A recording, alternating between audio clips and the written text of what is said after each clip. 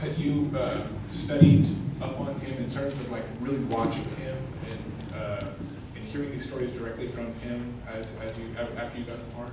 Um, well, luckily I had a chance. Um, we had what when I got cast like a month before we started filming. Um, so I actually had the opportunity, which is rare, to um, to have time to uh, to study the character before before the filming began. So I got to read his book several times. Um, I had the luxury um, of being able to talk to Peter and Petra and Maria, who knew Hans personally, and to gain a little more, um, you know, learn a little bit more about his life and how, how he was personally and how he would have reacted to certain situations. I actually got to sit down with Peter and um, go through beats in the film and, you know, that I was having trouble with, like how would Hans react to this situation as a person, you know, and to be able to get that firsthand um, was, was really a blessing as an actor. It's not something you get often.